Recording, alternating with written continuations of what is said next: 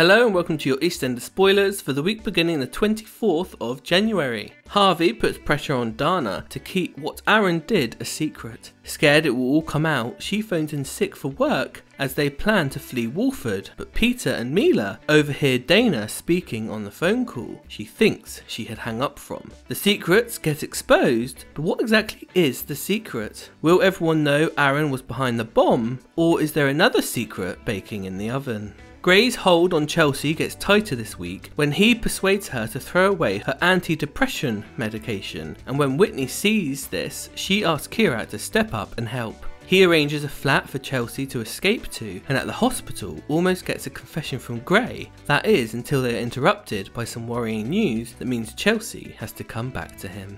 Stuart panics this week when the doctor tells him he will need an operation and the idea of taking painkillers worries him so much that he runs away. Rainie eventually tracks him down using her phone and he finds him at a church where he is found by a grave. The grave is of an old friend of Stuart's who died from a pill addiction, and Stuart is worried that he will have the same fate. Will Rainie be able to talk her husband around and bring him home to have the operation safely? Ben is still struggling with the attack that is playing on his mind, and Callum does his best to communicate to his husband. But will Ben listen to a word that Callum has to say? Phil is still lying to Kat about his prison sentence, and when she pushes him to open up, he ends the relationship with her. Later in the week, Sharon speaks to Phil and gets the truth out of him, giving him the choice of telling Kat himself or she will do it for him. And finally, Mick steps in to make Janine seem like a good mum when he gives Scarlett a present that he says is from Janine, but really, it's from him.